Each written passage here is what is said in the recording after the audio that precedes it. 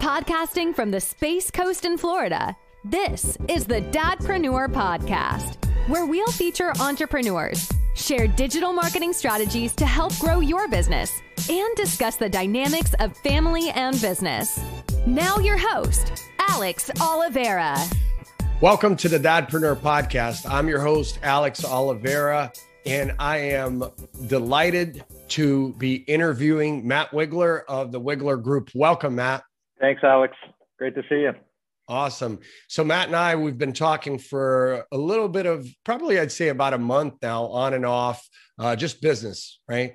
And I was diving deep into his his business and how it pivoted uh, during COVID, which we're going to get to, to that later on this episode. But I first really wanted to give you the opportunity, Matt, to tell us how you became an entrepreneur. You have such a an interesting background in music and jazz. I love jazz, so I want to definitely talk about that as well. Sure. Uh, so tell us about you, Matt. Sure. So uh, originally, I'm from Baltimore, Maryland.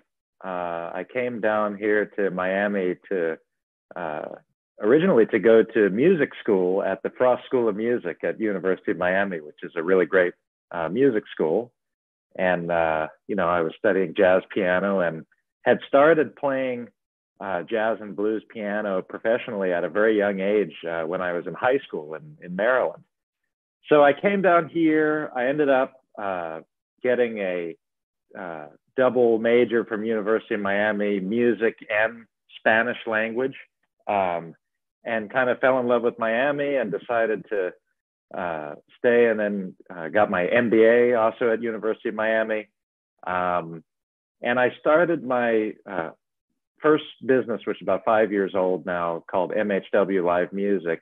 Um, we provide live music entertainment for hotels all around the country. So uh, we're managing, you know, entertainment programs where, if you imagine a luxury hotel, they'll have a whole series of uh, different musicians in the lobby, or a DJ at the pool, or you know uh, that that sort of program at at big resorts, and we do it nationwide. Um, so that business um, you know, was rolling along great. And then COVID hit and all the hotels shut down. Sure. Um, and so basically, what I did was uh, we had developed a really efficient business to business sales and marketing process to get our to get that service into the hotels. Mm-hmm. And I had some good people in place. And so basically, uh, last year in June, I decided to take that process that we have and spin it off into a second business, which is Wigler Group that we'll talk about. But basically, um, the hypothesis was lots and lots of companies of all sizes, but especially smaller and medium-sized companies, um, you know, don't necessarily have a fully baked sales and marketing process, especially for high ticket B2B? How do we go out and get a consistent pipeline of opportunities? So it turns out that hypothesis was correct. And we're providing this service, which we'll talk about for lots of clients on that business. And now I'm very happy to report that the live music business is back better than ever with the reopening uh, over the past, you know, six to nine months. It's been growing very quickly. So that uh, that basically you know brings us to present day right and it's one of those things where i think all of us in business no matter how small or big your company is during covid went through these pivots and through these survival mode do i change yep. my product offering go online i have clients with a, with similar stories like that where they created a new pipeline as a way of surviving and then yep. discovered now that their business is back and rolling that it's actually a sustainable business model. So it's just there's a lot of obviously pain to talk about during COVID for everyone, but sure. there are there are definitely some um, great stories too, and I think yours is, is definitely one of those. So talk to me a little bit about you, the the side of of Matt that is more the musician. Like how does that how has that helped you as an entrepreneur? Because I I can think of a lot of metaphors and analogies. Yeah, sure on the creative side and Yep. especially jazz being that everything happens so quickly. Right. So talk to me about how you use those um, sort of superpowers to help you in your business life. Yeah, that, that's a great question. That this is something that I, I think is uh, there's so many parallels to talk about between music and especially jazz and leadership and business in general and uh, maybe especially entrepreneurship. Um, one of the interesting things that I mean, I'll start with what I think is interesting uh, when I talk to uh, people who are full-time musicians. You know that Mhm. that are just 100% uh, out. You know, playing playing music. Um, I think what lots of musicians realize this, but I would say not all of them realize that all of them are entrepreneurs, right? If you're self employed, you're out looking for gigs, you're out creating your website, your marketing material, your, you know, people are releasing albums, you know, all those people are entrepreneurs. And the ones that are very successful are the ones that treat it like this is my business, even if my business is marketing myself and, uh, you know, go through the same process that you and I and all of us that start businesses understand how to do the different elements. How do I do my marketing, my messaging, my client experience, and how I communicate and all of this stuff. So that's something that I always like to talk about with the with the people that are musicians. But what what I find for me is very interesting parallels um, between, let's say, leading a jazz band. If I'm going to go out and play a concert with my band, usually I play with a trio or a quartet. What are the parallels between that and running a business? I think a lot of people don't realize that, there's a lot of stuff in common between these things. I mean, one of the things that I like to talk about as far as, you know, as kind of a leadership construct is at least my approach to this is I want to go out. Let's talk about if I'm going to put together a band. I want to go out and put together the absolute best band possible, which means putting the best person I can find in the right role in the band. Mm-hmm. So, you know, there's these defined roles. There's a bass player, there's a drummer, there's a guitar player, who's doing what. And it's a combination of not only do they have to be very good and skilled individually, but there has to be an alignment of what are we trying to accomplish? What do we want the band to sound like? Who's going to do what so that we don't step on each other's toes, right? Put that whole thing together. And what the thing that I see that I really enjoy about being the leader of a band is if I don't even have to play and the band sounds great. Imagine I put together these people, everybody's playing their part, it sounds so great. And if I just sit back and wow, this thing is really, it's really rolling along. It's sounding great. Well, obviously, everything I just said, if you change band to business, it's the same thing, right? You want to put Yeah. together your management or leadership team and get the right people sitting in the right seats and empower them and inspire them to take on leadership of, of you know what it is that they're responsible for. And then if you've done that correctly just like in leading the band if you're leading the business you don't have to be in there doing everything yourself. You can watch the uh, you know watch the sort of machine run hopefully as smoothly as possible um, you know by sort of engendering that leadership in your team. So I see those things as being totally analogous, and uh, you know, uh, I'm realizing that more and more as the businesses are growing and we're hiring more people, and uh, so it's, it's very cool to see to see that. Yeah.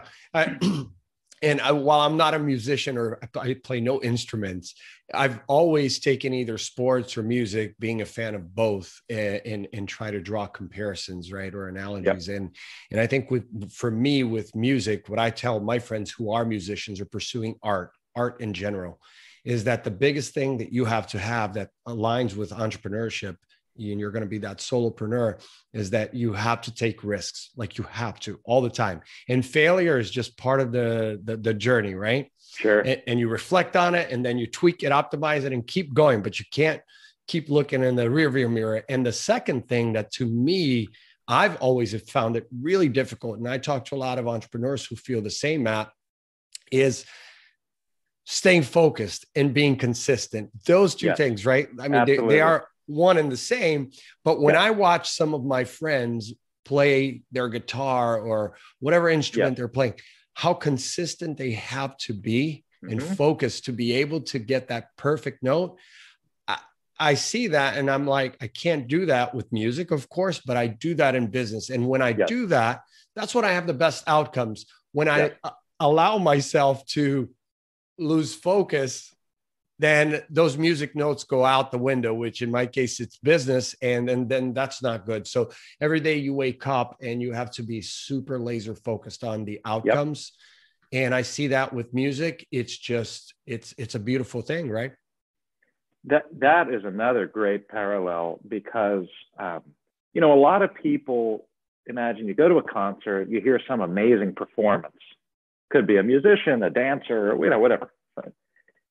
And a lot of people think, wow, those people are just so talented, as if they were just born that way. You know, what yeah. they mm-hmm. don't see, and same thing with athletes, right? What they don't see is that while, you know, to some extent there may be natural proclivities, these people who really master whatever it is, you know, that's their craft, is years and years and years and thousands of hours of very monotonous practice. Like you said, how do I play that note perfectly, exactly the way that I want it for the right length, at the right volume, at the right time? You're seeing, you know, 10,000 hours of practice coming to fruition in the performance. But the, the parallel to me, and for anybody that, yeah, like you said, especially if it's like a solo entrepreneur, how am I going to get started with something? To become a professional musician, let's say, uh, I would say it generally would take 10 years from the time that you first touch the instrument if you practice for a matter of hours every day. And if you're, this is why people generally, you know, it's a good idea to have mentors or teachers or advisors because, okay, not only do I have to be consistent and dedicated over a long period of time, but somehow I have to figure out how do I know that the practice or the activities that I'm doing are directed at the outcome that I want? Sure. And that's very difficult. It's all in, it's in this, it's kind of in a blind spot because if you've never done it before, it's in the space of, well, I don't know what I don't know. So how do I get my advisors or my teachers to help me figure out if I do this every day for, you know, two hours a day 10 years from now, I'm going to achieve this outcome probably. But that's such a long time horizon that it's very difficult for people to think on that sort of scale of, you know, what, you know, one, five, ten years. And I think musicians have all gone through that experience. Anybody who started playing music at a young age and then who is now an adult as a professional musician can look back and say, wow, that was such a long horizon to get me to where I am now. And starting a business is just like that. Or, you know, it, it's like, uh, you know, Rome wasn't built in a day, and you're probably not going to have a multi-million dollar business in, you know, nine months or something like that. It's a long journey uh, for the majority of people. How do you deal with friends, family, especially family, but friends too, understanding that you do have to put that amount of time and you have both. You have both the music and you have even though your music is you're mostly leading the company there i know you still play. Um, sure. but in business i find it that because you don't always see what a business is doing especially if you're not a products business if you're services like us sure. my family can't always understand that it, it is a 24 7 cycle um, if I leave opportunities on the tables, my competitors will get them. So sure. no matter if I have a team of 10 or 100, and I've had teams of hundreds of people, the question that I get from family and friends is like, well, you, you know, you must be doing so well. You can just take your eyes off the, off, off the machine and go enjoy it. And it doesn't really work that way because I've experienced the highs and the lows. Mm-hmm. And there's absolutely a correlation between me being there and making sure that it's moving forward. It's different if I'm investing in a business as just an investor. But if sure. I'm actually leading that vision, I have to be there. And I think in business, family and friends, I get this from a lot of entrepreneurs. especially from their wives or husbands. and my wife understands because she's in a business with me. So she under she really does see that I'm not just sitting around and reading blogs or whatever, right? I'm making sure. things happen.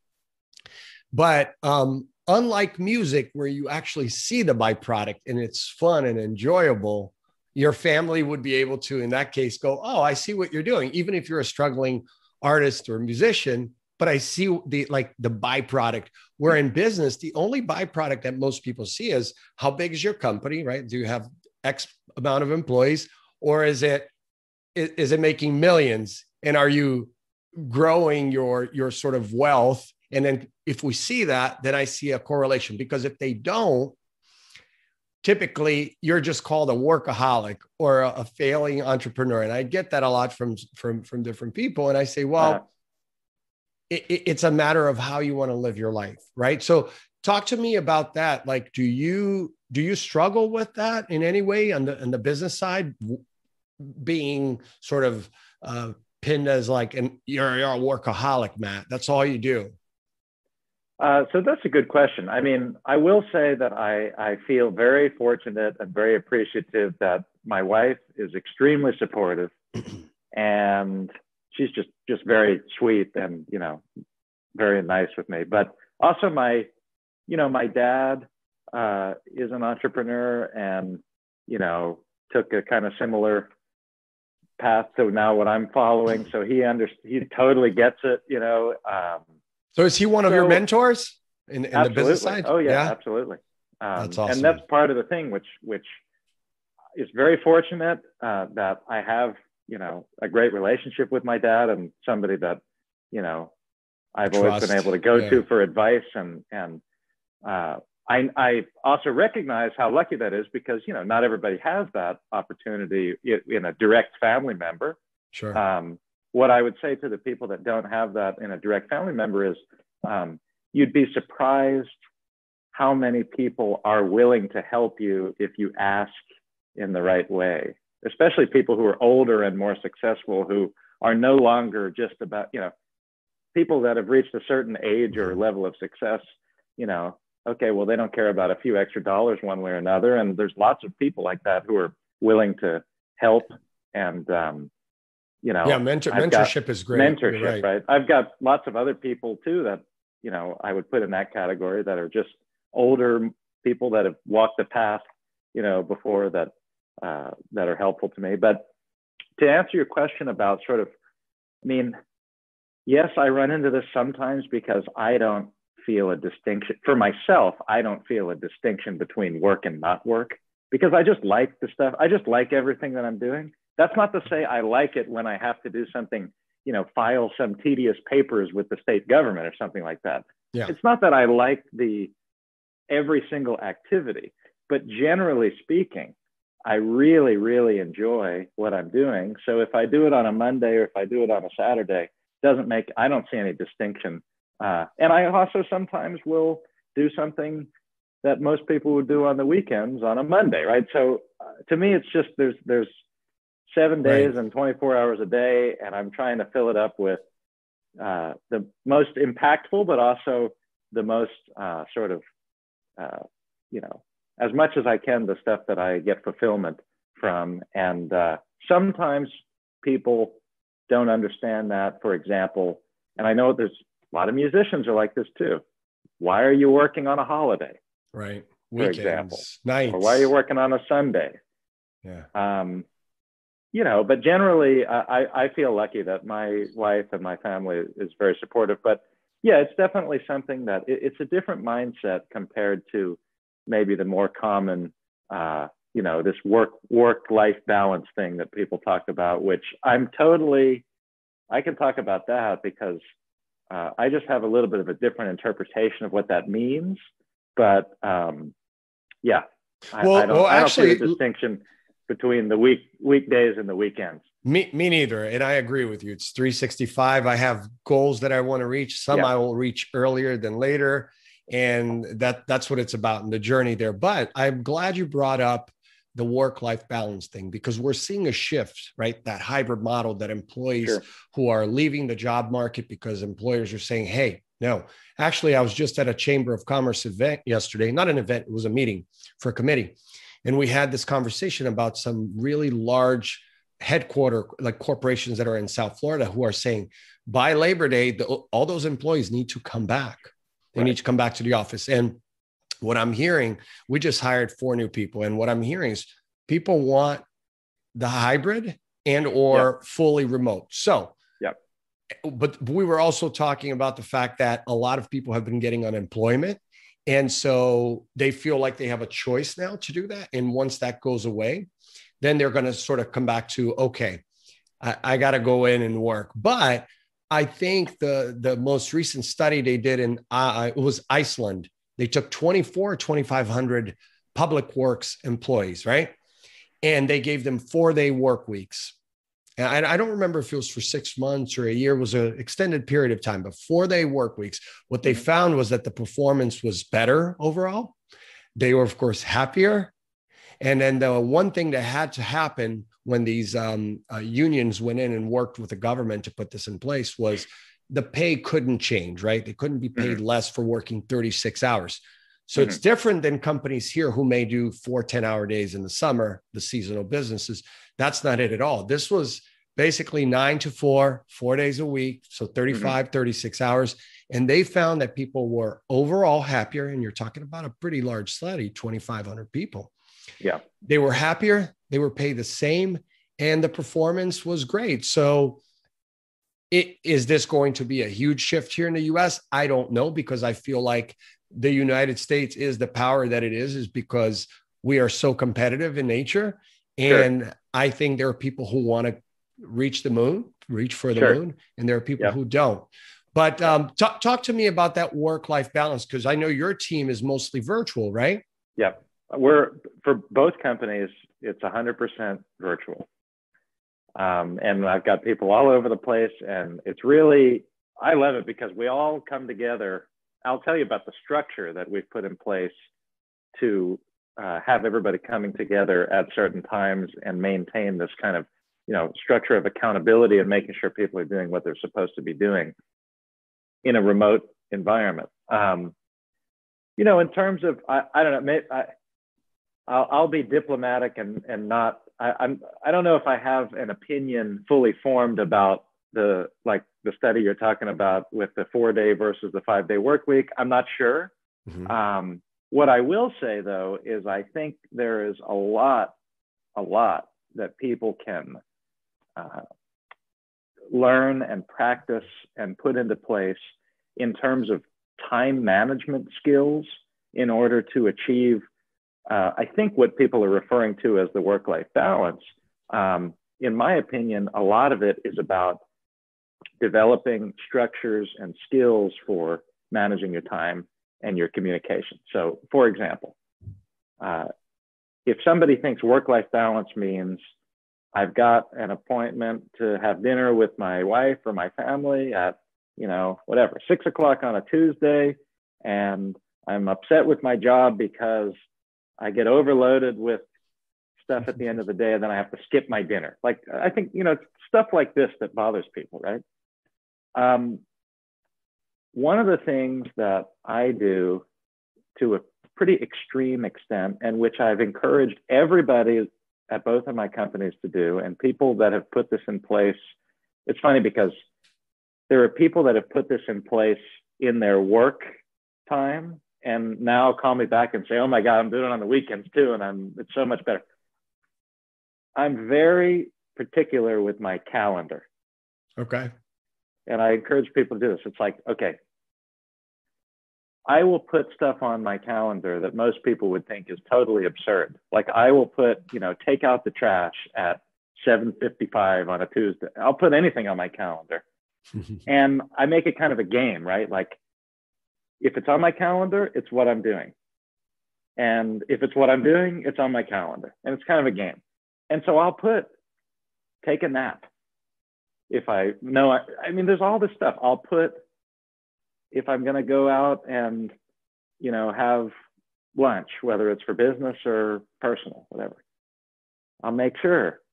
Do I have enough time to get there, not be in a rush, get back, do what I have to do? And if you really look at time that way, I think people will find that they have a tremendous amount more time than they give themselves credit for by really looking at it and considering how do I plan out my schedule because there really is a lot of time in the week. And I think, um, you know, a lot of it is people not managing their to-do list in the most you know effective way or people not giving themselves the proper amount of time that they need to do something um, and then what goes along with that is if you say you're going to be out at five because you've got to drive 30 minutes to get to a dinner at six and you want to be there half an hour early so you're not stressed great if your boss calls you at 4:45 and says oh my god i you have to say the next time that I will be available to accommodate your request is X and not throw your whole thing for a loop. That's very challenging for people to do, but both the person who's doing it and believe it or not, your boss, if you're coming at it from the employee perspective, will appreciate it as long as you actually do what you said you were going to do. So if you say, hey, boss, I can't do it right now. The next time I'm available to do it is at 10 o'clock when I come home, or it's tomorrow morning at 11:30 a.m., whatever. And then you actually do it exactly at the time that you said you were going to do it. You develop this great trust with the other person, and you've successfully managed your time such that you can do the work and the personal stuff without getting yourself overwhelmed. So that's what I, I do, and I see it's working for people that I tell I tell people about this, and it works. Yeah, no, and I agree with you. You know, it, and I always think of it that way. But when I talk to these larger companies, you know, they just flat out say, like, it, I'm not going to allow right a thousand or five thousand employees to dictate their calendars. This is yep. what it is. I own them from here to here. I'm not going to have yep. HR or managers worrying about that. So to that, I say for the other side, the people who are, you know, the employees and frustrated. I do a lot of mentoring at, at different universities students who are just coming out and they'll ask actually i have a, handful of interns right now one from fsu and a couple of others and i try to give them you know tips and advice and i say like you have to decide early on you know if you because so many of the, millennials the younger millennials and gen, gen z they are you know they really want to change the world they want to own their own business so i try sure. to paint the pros and cons of both and even the pros of working for you know big corporation versus a small business there's pros yep. and cons but i say ultimately the only way that you're going to really control your time is if you become the top person doesn't yeah, have to be your own business and if it's a corporation then you have to climb that corporate ladder it might take you 10 15 yep. 20 years i yep. don't know and ultimately even if you're an entrepreneur and you own multiple businesses you're the one that's signing all the checks at the yep. end of the day, your clients are your boss. So you have to decide still, and I tell them, I have to decide what type of clients I bring on because I'm not like most agencies that I just take on anyone expecting that my work, my, my team is going to work 24 seven. So I sure.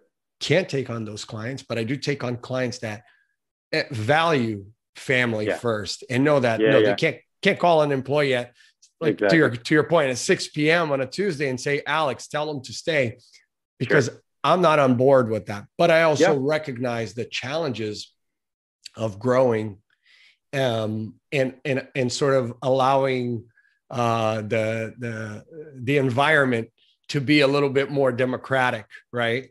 Yep. Well, and and your point about control over your own time to me, that's the number one reason why I chose to take the path that I'm on, as opposed to what the vast majority of my classmates from business school, for example, you know, want to work at these impressive big corporations and go up the corporate ladder. And that obviously, like you said, has its own advantages Perks. and disadvantages, yeah. right? But I would say that you know, while in the very long term, just like this journey of becoming a professional musician, right?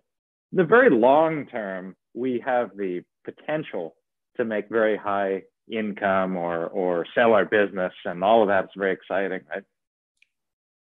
But I would say along the way, control over freedom over your own time to me is the most important is personally the most important and satisfying thing and the reason why I am going on this path that I'm on. Um, there may be other people for whom that's not as important, and so they want to take advantage of of other you know perks at a big corporation or something like that. But but to me, um, I don't care if I have to work on a Saturday. Sometimes I'll go out and you know I'm playing golf on a Tuesday. Wow, I'm so happy that I made this decision because I you know whatever I organize my schedule right. in such a way that um, you know if I have things to do I can move them around the way that I want. And I and like you said, as a young person, the only way to accomplish that is having your own business. I understand that there's, you know, you're right. If you're the top person at a big company, maybe you have more freedom of your time. But um, yeah, I, I think it's it's a it's an interesting sort of point for people if they're coming out of school to consider okay most people are talking only about salary, salary, salary. How much money am I going to make? But there's these other factors which shouldn't be taken for granted, yeah. you know, in, in people deciding what path they want to walk down. Yeah, it could change your life dramatically early on. So yep. Matt, let's let's switch gears to the Wigler Group because I'm excited to talk shop about lead generation, marketing, sales, and customer service. And sure. really, primarily, we're going to touch on the sales and sort of customer service. Why? Because you and I have talked a few times about the fact that my company, Predict, they, you know, we do the lead gen part. We drive traffic to websites, we drive calls sure. to sales teams. But what they do beyond generating those leads and growing their SEO visibility, all of that, sure, is not up to me, right? And so whether they bring somebody in to train, whether they have seasoned managers, it it can make or break the ROI in the marketing and lead gen yeah. side. So talk to me about you what you guys do and and how you go about it. Sure. And so this is very interesting because we um, here's here's what I've seen about uh, sort of the awareness, lead generation, sales funnel. You know, the, it, it's all relatively analogous across the different businesses.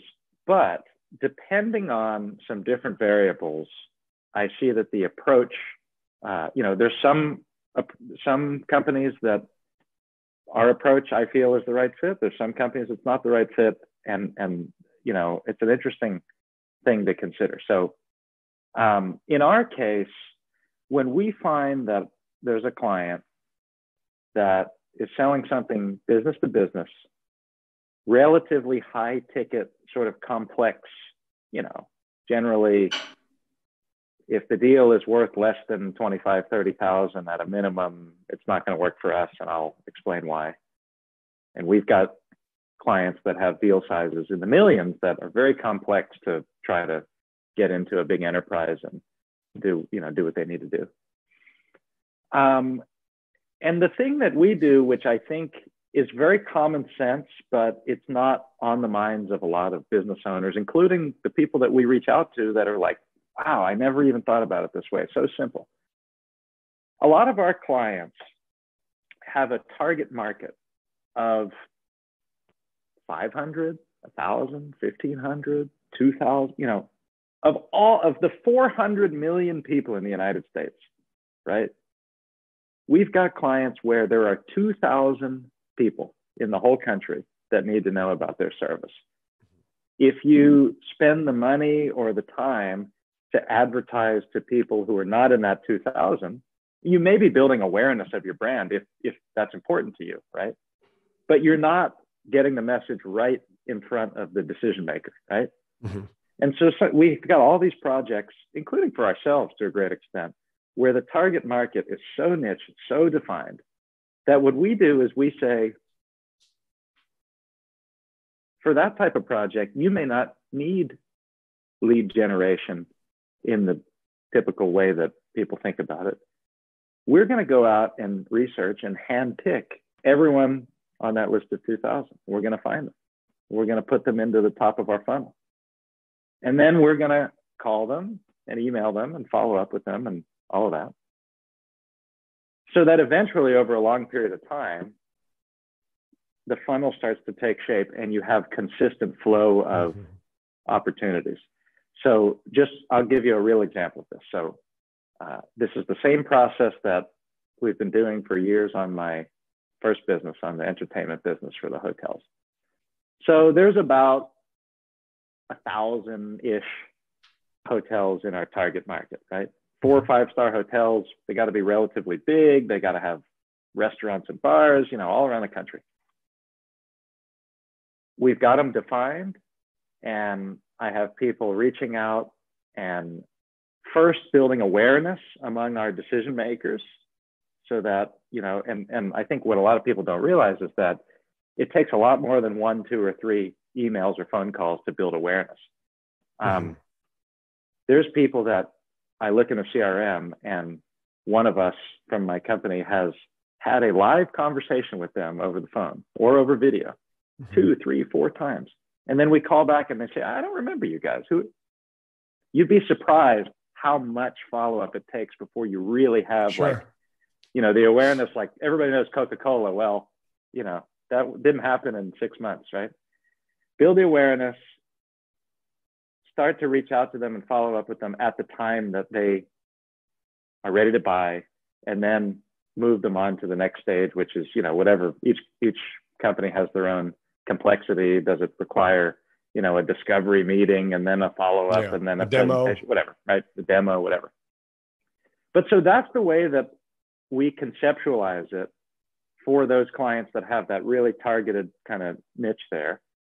And what happens is over a long period of time, you know, like a year or two years, you start to build this amazing pipeline of people that are aware. We understand what's important to them because we're actually having conversations. We understand what's going on with them in the business, other vendors, other competitors that we didn't know existed, pain points that we didn't really know what was important to them and we get all this feedback and then eventually it crosses over and the tide starts to flow in the direction we want which is yeah you guys have been reaching out to me for nine months i'm ready. Let's do it. Or you know and and so that's sort of what we do for ourselves and on behalf of all of our clients. Um, it is not easy and it is not quick but it really works if you build the foundation and do it consistently, like we were talking about before, over a long period of time.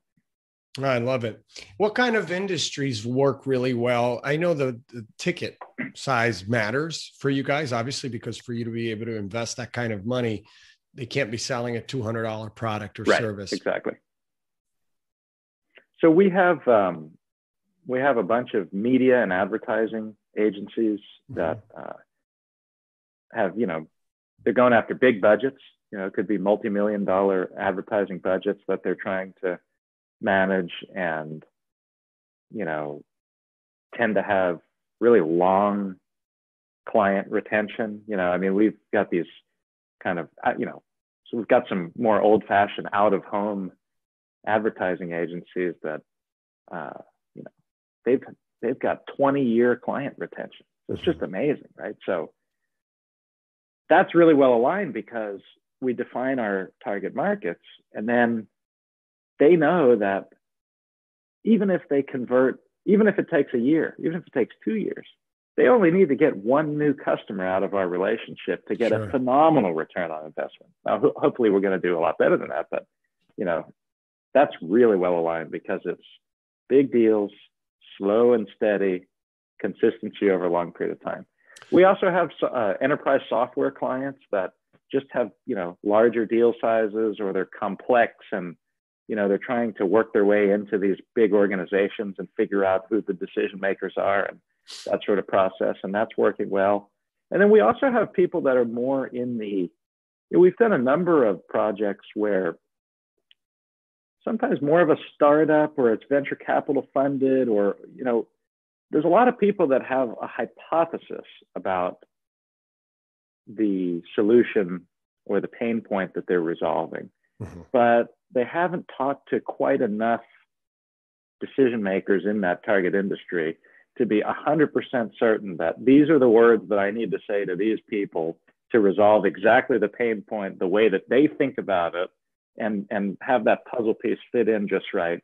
And so we've got projects where we're um, basically still doing, I mean, we're booking meetings and getting some potential deals into play, but at the same time, we're sort of doing market research for people where we deliver these insights and this feedback from actually having conversations with the decision makers. Sure. And that allows people to iterate and improve their marketing message or improve the way that they talk about how their solution resolves the pain point. And so there's, you know, that's sort of the range of, of what we're seeing right, uh, right now. And what about um, when you guys are reaching out, Matt, you know, there's so many channels of communication. When you're reaching out, what's more effective? Is it to open the door? When I say open the door, I mean they actually responded. Yeah. It, it, sometimes not favorable, which is okay. But I just exactly. mean they they actually responded. Is it electronically or via phone call? Which yeah. are you seeing the best results? It depends a little bit by industry. Um, the types of industries where people are always in the office or in the building, they're easy to reach on the phone. But mm-hmm. the last year has been very challenging with people working from home and we can't get forwarded to, you know, we call people cell phones, but you know, it's, it's challenging to get people to pick up the phone. Mm-hmm. Um, we've seen that we get a lot of our replies or or a sense of whether people are engaged through email interaction. Mm-hmm. But we get a lot of our extremely valuable insight and feedback through somebody either replying to an email and saying, Tell me more, or they, they come back with a question, and then we pick up the phone and follow up. And now it's easier to get them to answer because we know that they're engaged, right? And then we can pick it up over the phone in terms of a more detailed conversation. Um, but you know, we so I would say, yeah, I would say it's a lot of the email metrics that drives us understanding who's more likely to respond to us. Uh, if they reply to the email, then that's the best because they've already engaged. But if they're clicking on the link to the website, if they're, you know, you can kind of tell if they're really, you know, if we've sent them six follow up emails and they've gone to the website every time, mm-hmm. then my uh, team knows, okay, I better pick up the phone and call that person as a top priority because that person must have some level of engagement. And so it's it's a combination, but I would say it is quite challenging to get people to pick up the phone on the first try. Yeah. Yeah, definitely. And I've ran a lot of those. I mean, for for years, for decades, really. I've never stopped doing cold calling, right? Myself and my team included. I'm not shy to we, we use a little software called uh, call uh, justcall.io. So yeah. it's cloud and everybody has a user account on their phone. Right. And it records everything and you score the leads. It's really great. And uh I, I don't mind picking up and doing 10, 15 calls just to see what has changed in the last 10, 20 years. I've been doing it since 99, right? So I look at it and not much has changed. There's a certain number of calls that you have to make in order for a certain number of people to pick up your script that's a whole other thing right you have to have people who really understand how to build rapport open doors yeah, get exactly. through the so that's that also never changes you know but i do see that a combination of reaching out to people via uh, uh, their email versus direct messaging them on linkedin versus direct messaging them here or there it's all over the place right like hey yeah. i heard you on a clubhouse room and i really right. enjoyed what you said a message like that goes way further than just yes. reaching out and saying, "Hey, I'm trying to connect with you." Well, so now you're talking about something, right? Which is what the, the the real thing that improves the connection and response rate is not some tricky thing about you know. Here's my free ebook. Yeah, no, it's, nobody it's cares. Not, it's not that nobody cares, and it's not AI, whatever. At least not from what I can No. tell. I know there's a lot of stuff out there that they use these fancy words to confuse the people into thinking that it's so great. But I think what really improves the connection rate is when the person that's about to reach out actually sits there and thinks for a minute about who is this person? What background information or possible connection can I find so that I'm not just some other person pitching something? And if I can find some way to tie it in, and this is, for example, one of the things that all of my people on my team, we call them outreach specialists, are, are uh, you could think of them as business development reps Mhm. or whatever, but the, my team of people that is calling on behalf of the clients, they reach out to our clients when they have an interesting prospect and they'll say, Do you have any background information or familiarity or friend of a friend, or you've got a client, you know, they used to work at your client? I mean, there's all these different ways that we can strategize about an individual prospect, which, you know, that is a very quality over quantity approach where you don't have to make a thousand calls necessarily. If you make 10 calls or 100 calls, but each one of them is just like a bullseye, and Yeah. you actually have something of value or something. I don't mean an ebook of value, I No. just mean something like, you know, some connection that you can establish. The reply, the response rate is very high on that sort of approach. Yeah, the thing that works has always worked for us is approaching it that way from business development. It's really to customize, and there's no better way than trying to search the internet, search their website, their press Yeah. room, and look at what what's important to them. Because if I'm putting in my media or press page something important about a new product, or I just raised X Y Z, Yeah.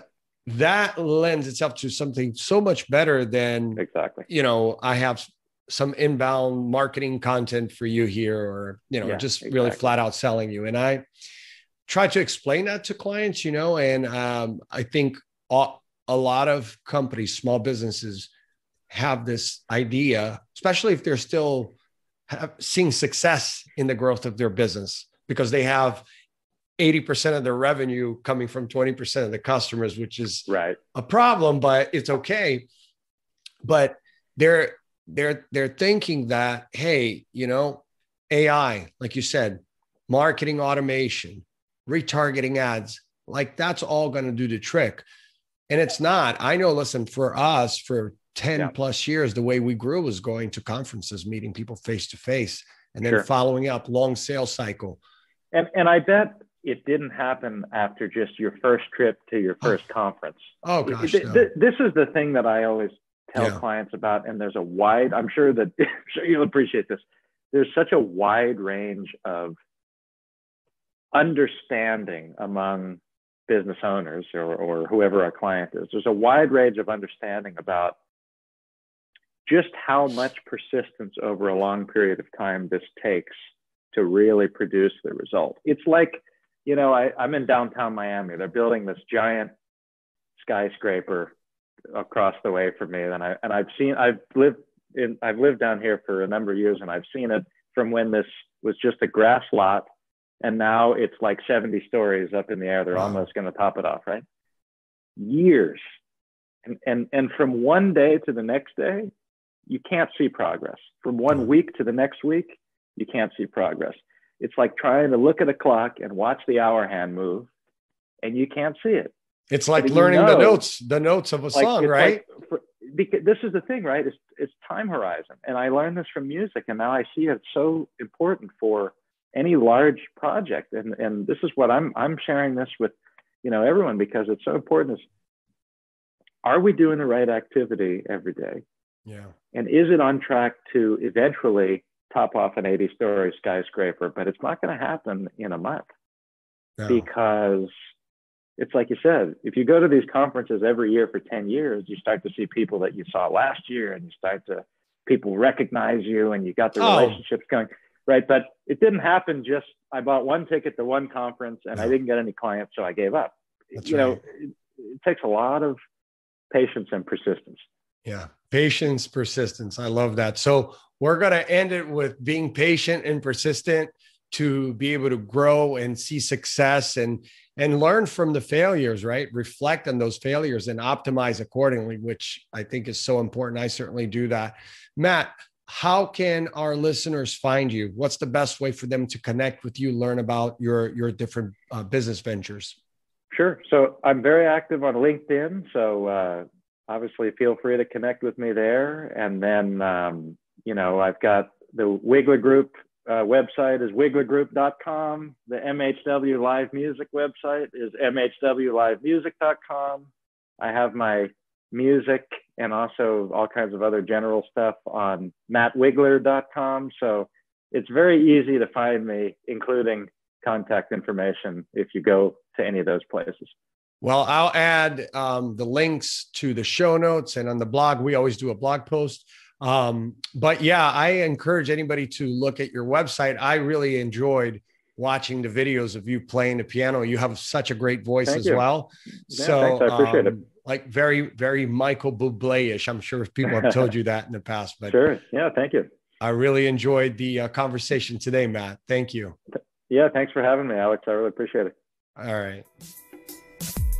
That's it for the Dadpreneur podcast with Alex Oliveira. Like what you heard? Leave us a review. If you have questions, email us at listener at dadpreneur.co. You may also visit dadpreneur.co for free resources.